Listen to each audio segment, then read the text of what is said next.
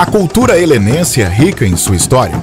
E como é bom lembrar do começo da brincadeira de bumba boi, que ainda hoje é cultivada pela nossa gente.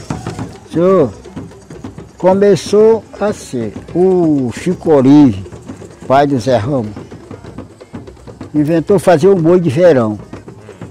Fazer um boi de verão, botar criança e mulher. E meu pai brincava boi e cantava. Fausto, Raimundo Fausto Pinto, era de Cururupu. E aí papai foi.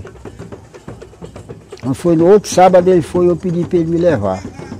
Ele me levou. Senhor, quando chegou lá, quando eu vi o pessoal bailar e cantar, eu achei bonito. Passei para frente do velho. E aí o pessoal olharam. Meu Fausto, esse pequeno vai dar para brincar boi. Pra cá.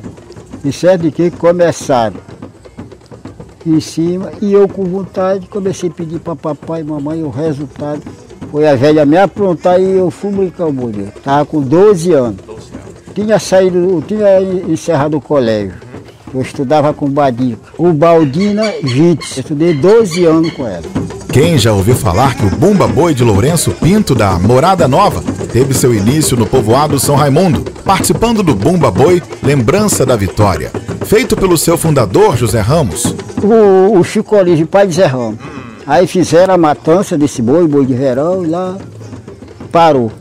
Mas o que acontece? Tinha vindo o pessoal lá do cotovelo, veio um senhor de Manduca, Manduca Brito, cantava bem boi, tinha o Tonico, Tonico Brito, cantava, veio de lá, ainda acharam o boi de verão, de criança. Começaram a dizer, rapaz, vamos segurar o boi, vamos segurar. Aí o Chico Olívio adoeceu, não pôde, o Zé Ramos, filho dele, era ferreiro, trabalhava, batia machado, né? Trabalhava de, de, de solda, fazia tudo. Era ferreiro? É, tomou conta. Já estava casado lá no São Raimundo com a a filha do Gabrielzinho Pavão, que era a Sebastiana, a mulher dele. Já tinha uma casa boa, tinha a tenda, né? De, da oficina. Sim. Fez um salão, e aí botou o boi. Aí foi, mandou dizer pro papai me liberar para mim. Foi aí onde tudo começou. Todo o período junino, o boi se apresentava em frente à casa do comerciante João Pavão, pai do conselheiro Jorge Pavão. Grande incentivador da brincadeira, Lembrança da vitória no São Raimundo. É porque o João Pavão, ele nasceu dia de São João. Ele era devoto de São João. Mas não brincava, mas levava boi. Todo dia de São João tinha que brincar um boi na casa dele. Na casa do João Pavão, na, na porta do comércio. Era bem na frente do colégio. Não tinha negócio de botar circo, ah. não tinha botiquim, nada. Tinha era reza.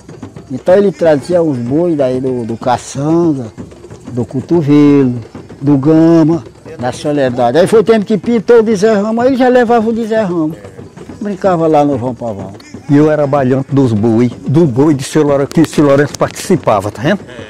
Então, eu brincava com o seu Ponciano, brinquei com o seu Zé Ramo, brinquei com o seu Corive, todos os bois seu Lourenço participava. Né?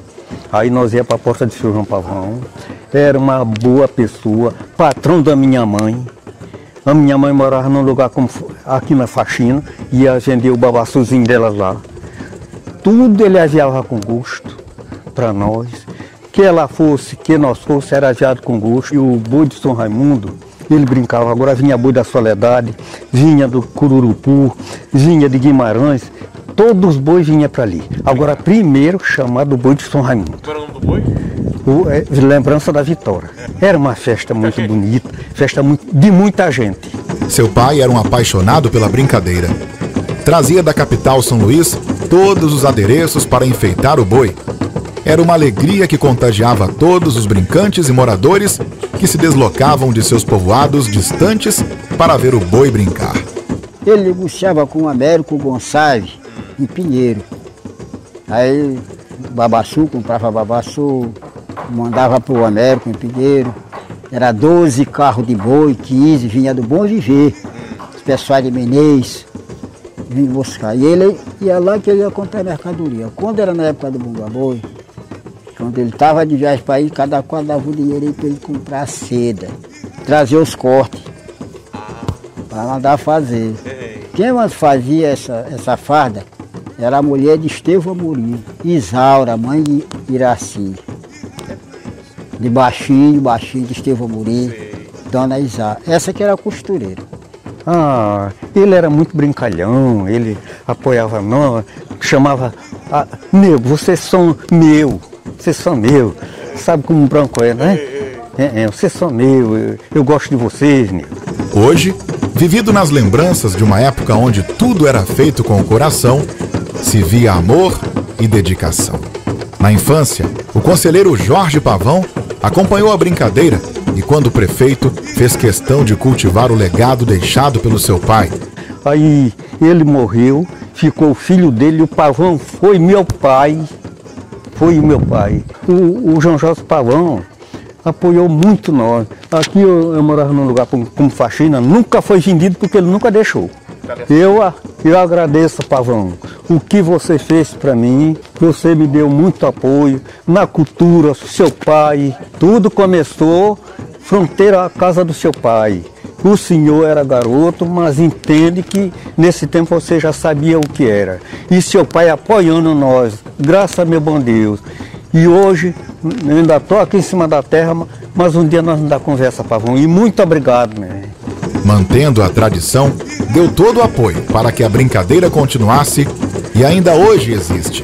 Enquanto trabalhou na política, sempre me apoiou. A tua esposa, a dona Helena, com muita satisfação, com muito prazer, muita lembrança eu mando para ela, um abraço, com muita satisfação. Me apoiou, me ajudou no meu salão da minha cultura, nunca se esqueceu de mim. Então você também nunca me esqueceu dela.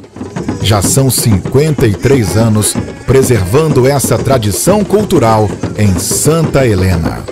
Muita lembrança, recordação. E é de coração, não é só da boca para fora, é de Lourenço Soares Pinto.